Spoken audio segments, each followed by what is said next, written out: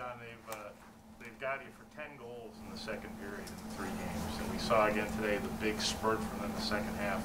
What, what do they do in those spurts to just take control on? Y- Yeah, I'm, I guess you'd have to ask them what, what they do as far as changing their game, but, and I don't mean, mean to be sarcastic about it. I, I I think, I don't know if you can connect it. Today, we just, you know, the, the entirety of the game, we just couldn't get the emotional energy.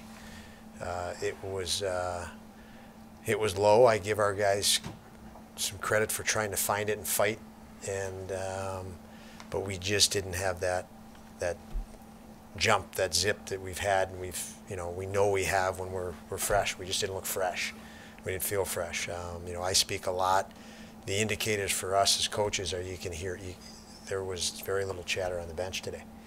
And you, you know when your guys aren't talking, uh, you know, they're, they're lacking that energy, that emotional.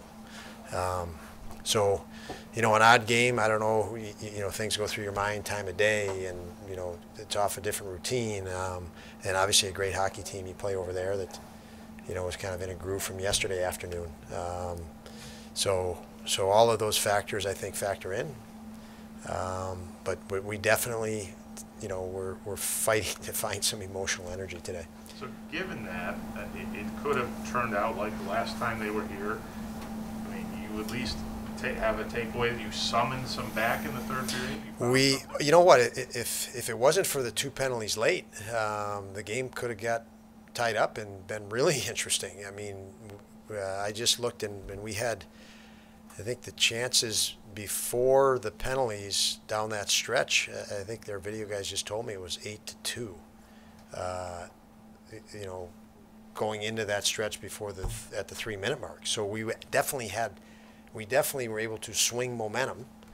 Um, a credit to the guys on the power play, the guys that you know to, to dig in uh, and fight. And I think the leadership of uh, you know the the Okposo and Girgensons were, were outstanding, and that line Eakin, you know they they as experienced guys, uh, you know they, they they know how to get something out of it, even though they were drained emotionally. They just pushed. I think Girgensons finished a check that, you know, okay, I can't, I may not feel my game, but I can finish this hit and finish it hard. And just, they just kind of got the, the rest of the group going and pushed.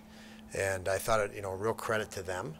Um, you know, our group of D, we were we were hesitant, all, the, all of us, uh, which is very uncharacteristic of, you know, the six guys that were in there tonight on D. And uh, so, so again, we were fighting ourselves more than um, than anything they did. Although, you know, I don't discredit their they're a great hockey team. They've proven that. But it was a lot more what we didn't do. I don't think they forced us into anything. We just we just didn't have our game. From your perspective, Don, Kyle and Jeff have obviously been consistent sources of offense for you guys. Since you've taken over as coach, what's made the difference for those two?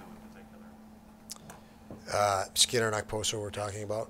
Um, you know, I, their their daily routine, their habits, their work ethic, they're they're dialed in. I mean, they're they're very committed to their game, and they they walk in this building every day with a sense of obligation. I mean, you, you, you, you I see that as a coach. Um, they they they're professional.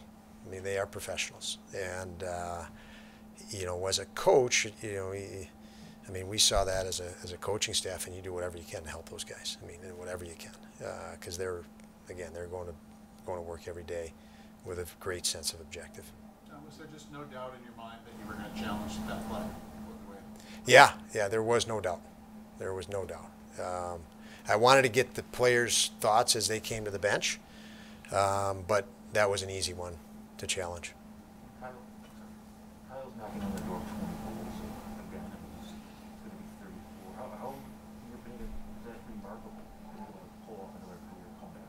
It's elite. It, it is elite uh, in the sense of, you know, as players age and, you know, in, in life, but in, in this, we're talking about a National Hockey League player, they have to keep reinventing themselves. They have to keep, believe it or not, just like a young guy has to keep getting better, the older guy in this league, if he doesn't find ways to tweak his game and become better, they're obsolete sooner than later. And Kyle comes to the rink every day trying to find ways to add to his game and adjust his game.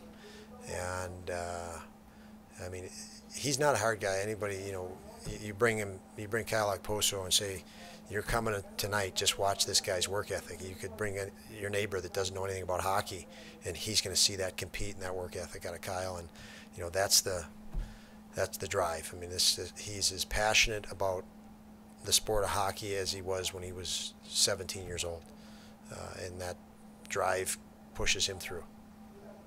Don, with two coming up against Carolina uh, after this game and after things have been going really well for this team, uh, Kyle just told us he doesn't need to worry about motivating the younger players on this team at this point. Are you feeling the same way and seeing the same thing? Yeah, and I notice you're wearing Carolina red. Now, you asked that question, and you're wearing Carolina red. Don, I didn't mean So that's okay. um, yeah, you know, I don't. I didn't say anything to the guys after the game. I, I said uh, in between the second and third period, I, I you know, I, I, in essence, my message was, I'm, I'm glad, and I hope you're glad we have a third period here. you know, that that's the bonus that, that we, the game didn't end after that second period. Um, and it's sort of the same feeling right now. I, I didn't have to go in that locker room after the game. I didn't feel any need to.